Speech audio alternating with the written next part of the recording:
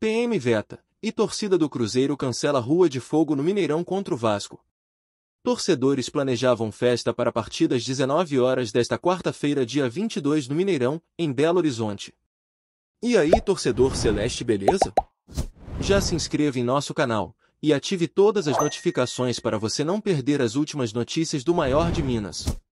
A Polícia Militar vetou a realização da Rua de Fogo, que estava programada pelos torcedores do Cruzeiro para a partida contra o Vasco, no Mineirão, às 19 horas desta quarta-feira, dia 22. Cruzeirenses se mobilizavam para fazer uma festa com fogos de artifício na chegada do ônibus da delegação Celeste ao Gigante da Pampulha.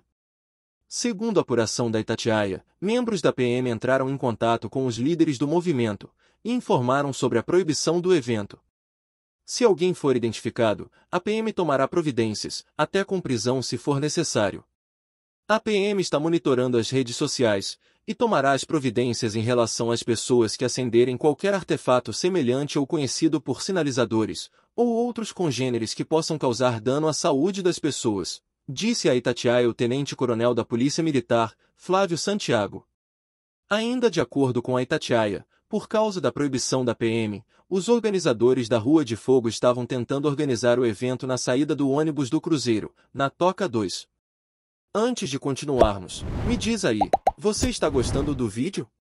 Então deixe o seu like e ajude nosso canal a crescer muito obrigado.